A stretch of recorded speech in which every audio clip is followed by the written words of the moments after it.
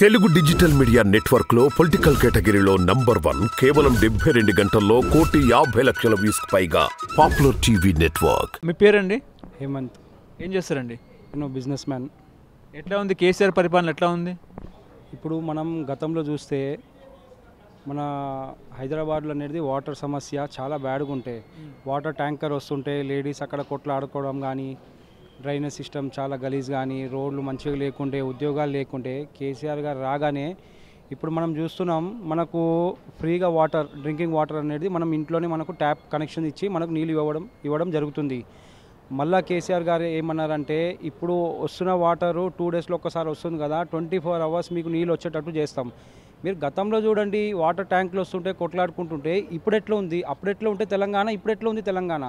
అదేవిధంగా మన హైదరాబాద్ హైదరాబాద్ నగరంని మనం చూస్తే ఉట్టి ఆ హైటెక్ సిటీ బిల్డింగ్ తప్ప అక్కడ ఏం లేకుంటే ఇప్పుడు తెలంగాణ మనం చూస్తే చాలా డెవలప్ అయింది. ఐటీ కంపెనీ ఐటీ కంపెనీస్ కానీ ఐటీ హబ్స్ కానీ చాలా రోడ్లు కానీ డ్రైనేజ్లు కానీ చాలా డెవలప్ అయినాయి. ఇంకా ఇప్పుడు మనకు హైదరాబాద్లో రైల్వే ట్రాక్స్ సిగ్నల్ గేట్ పడితే చాలా ప్రెగ్నెంట్ లేడీస్ కానీ అంబులెన్స్ కానీ కొందరికి ఎమర్జెన్సీ పోవాలంటే చాలా ఇబ్బందికరం అవుతుంటే ఇప్పుడు దానికి కింద నుంచి తొవ్వ తీసి రోడ్ అండర్ బ్రిడ్జ్ తీసి చాలా అది చాలా మంచి ప- పని చేసి మని మంచి పని చేశారు.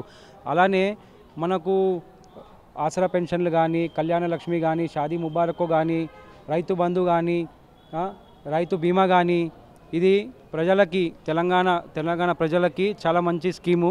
కానీ ఇప్పుడు ఇప్పుడు వరకు ఏ ముఖ్యమంత్రి కూడా గతంలో ఏ ముఖ్యమంత్రి కూడా తెలంగాణకి ఇంత అభివృద్ధి చేయలేదు. ఇప్పుడు తెలంగాణలో కాంగ్రెస్ పార్టీ అధికారంలోకి వచ్చే అవకాశం ఉందని మీరు అనుకుంటున్నారా? వాళ్ళు ఉట్టి సప్న సప్నాని అంతే అది రారు చెయ్యరు. ఇప్పుడు వాళ్ళు ఎనభై సీట్లు అంటున్నారు అలాగే ఇంద్రమ రాజ్యం తీసుకొస్తామని చెప్తున్నారు. మీరు ఎనభై సీట్లు అంటారు కదా పక్కన జీరో తీసేయండి. అది కూడా గ్యారంటీ లేదు ఎయిట్ కూడా గ్యారంటీ లేదు. కేసీఆర్కి ఎన్ని సీట్లు వస్తాయి? Hundred seats. సెంచరీ అయితే పక్కా.